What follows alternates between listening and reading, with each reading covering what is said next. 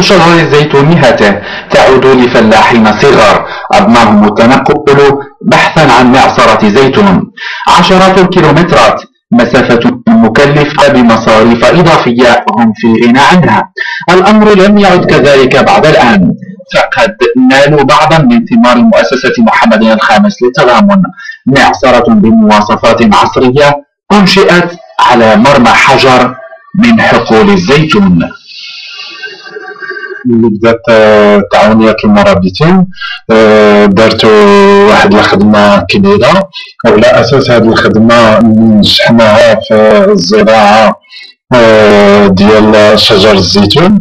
آه، جات مؤسسات محمد الخامس وكملت لنا المبادرة اللي هذه الخدمة اللي درناها. مناصب شغل مباشرة وأخرى موسمية يضمنها هذا المشروع المندمج.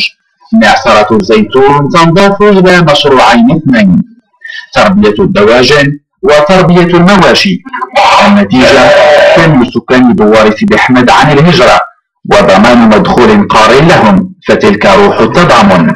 جات الفكرة أنه نقدموا المشروع ديالنا لمؤسسة محمد الخامس اللي بنفس هذا عبر جمعية تيشكا واحد الغلاف مالي ديال المجموع ديالو ديال 220 مليون ديال الفرنك اللي درنا فيه واحد المشروع ديال معصرة الزيتون وواحد السيارة من بيكوب وواحد البناية ديال تربية الدواجن ودرنا واحد المحطة ديال واحد البناية ديال تربية الغنم ودرنا الغنم ديال ديال المنطقة ديال اللي كيصدق في المنطقة وهو الدمان هذه المشاريع مجتمعة ساهمت في تنمية منطقة ظلت إلى عهد قريب.